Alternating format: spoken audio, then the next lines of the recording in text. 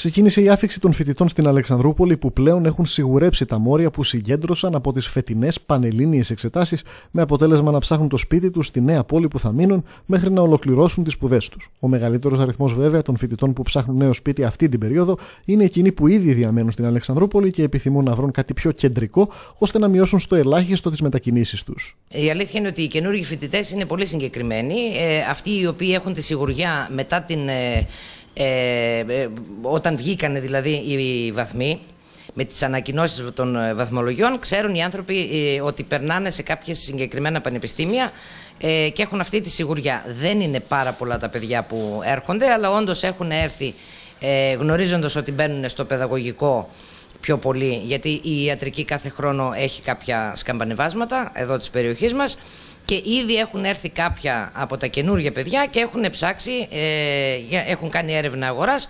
Ε, ελάχιστα παιδιά έχουν κλείσει κιόλας ε, διαμερίσματα γιατί η αλήθεια είναι ότι αυτόν τον μήνα περιμένουμε την, ε, τα περισσότερα σπίτια να αδειάσουν γιατί είναι η ορκομοσία πούμε, της ιατρικής που αν δεν κάνω λάθος είναι γύρω στις 19 με 20 του Ιουλίου αλλά εν πάση περιπτώσει υπάρχει μια κινητικότητα. Όπως επίσης υπάρχουν και παιδιά τα οποία μένουν σε κάποιες ε, περιοχές της Αλεξανδρούπολης που πιθανόν να τους φαίνεται λίγο ε, μακριά, μετακομίζουν, ε, αλλάζουν ε, σπίτια και έρχονται προς το κέντρο.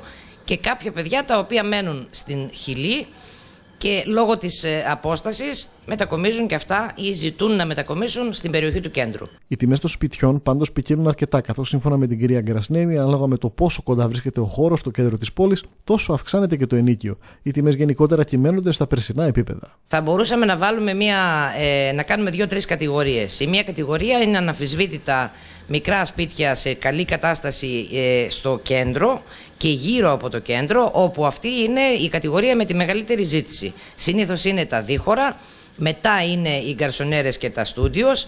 Ε, η δεύτερη κατηγορία θα μπορούσα να πω ότι είναι περιφερειακά του κέντρου και η τρίτη κατηγορία είναι και λίγο πιο ξέμακρα από το κέντρο γιατί ε, οι τρεις κατηγορίες δίνουν και τρεις κατηγορίες στις τιμές. Αν θέλετε να αναφερθούμε στις τιμές, ε, δεν έχουν αλλάξει τα τελευταία 5-6 χρόνια. Είχαν δηλαδή με το ξεκίνημα της κρίσης ε, κατεβεί τα ενίκια αρκετά από το όπως ήταν παλαιότερα, παραμένουν στα ίδια επίπεδα. Ενδεικτικά θα σας πω ότι ένα δίχωρο στο κέντρο κυμαίνεται μέχρι και 300-320 ευρώ εφόσον έχει έπιπλα. Ε, περιφερειακά του κέντρου είμαστε από το 250 έως 270 ευρώ και όσο απομακρυνόμαστε οι τιμές μπορεί να είναι 220, 230 για τα δίχωρα μιλάμε πάντα.